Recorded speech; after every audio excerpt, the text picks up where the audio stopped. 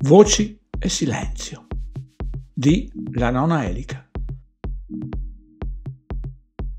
Si fa un gran parlare di programmazione neurolinguistica, di finestre di Overton, di raffinate strategie di comunicazione, ma alla fin della fiera il metodo usato è più o meno sempre lo stesso. Quando vogliono preparare il terreno, lasciano uscire l'evanescente voce di corridoio tra affermazione, suggerimento, precisazione e negazione, il passo è sempre breve e molto sfumato. Possono gettare l'esca al pubblico giusto per vedere l'effetto che fa e poi lasciare che le acque si increspino o si calmino a seconda di come decidono di far tirare il vento.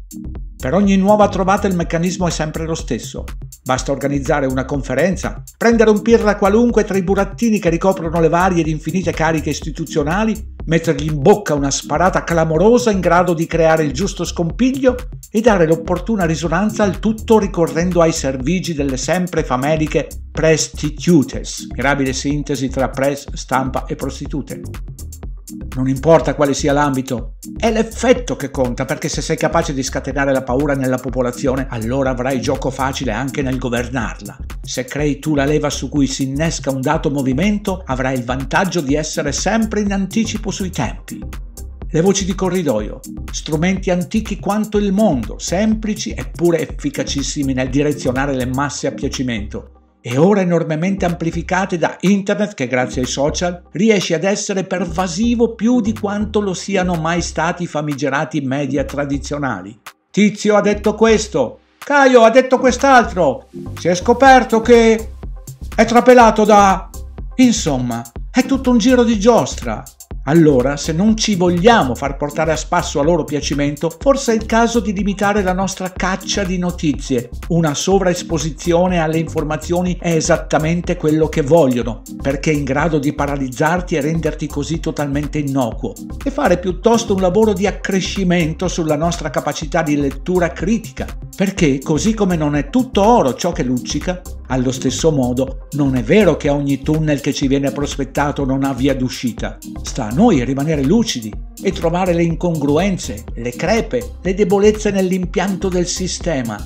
Sta a noi capire che razza di problema possiamo costituire per il regime, perché se si danno tanto da fare per direzionarci e mantenerci sotto pressione, significa che un nostro uscire dai loro recinti è prospettiva per loro estremamente pericolosa. Sta a noi non farci plagiare dai soliti imbonitori dell'andrà tutto bene, versione 2.0, e tantomeno da quella comunicazione mainstream che è organicamente volta a plagiare il nostro pensiero. Quindi, informarsi per conoscere davvero, senza farsi prendere per culo, all'insegna dello zero tifoseria da stadio e zero illusioni in salvatori, ma neanche allarmismi alla prima buttad e preoccupazioni a non finire.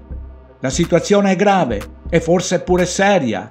CBDC, ID e cazzi e mazzi sono in viaggio verso la nostra prossima realtà quotidiana, ma il nostro assenso, la nostra collaborazione rimangono fondamentali. Certo, il rifiuto comporterà delle conseguenze, ma il rifiuto è ciò che più temono, perché il no è proprio ciò che, in ultima analisi, se noi decidiamo di rimanere fermi, non ci possono levare. In cuor nostro dobbiamo solo prendere questa decisione per un rifiuto definitivo e non negoziabile. È allora che ci accorgeremo di una nuova serenità interiore, quella di chi sa che sta facendo e farà la cosa giusta, quella che non conosce esimenti o giustificazioni per mancate prese di posizione, ma va per i fatti suoi, a prescindere, quella che non può essere scalfita da niente e da nessuno. È lì che scopriremo che anche le voci di corridoio più insistenti si fanno prima ovattate per poi svanire del tutto. È lì che si farà silenzio, tutto attorno a noi. Ed è solo lì che potremo dismettere i panni di marionette gestite dall'alto per riscoprire finalmente la pienezza e la potenza del nostro essere umani.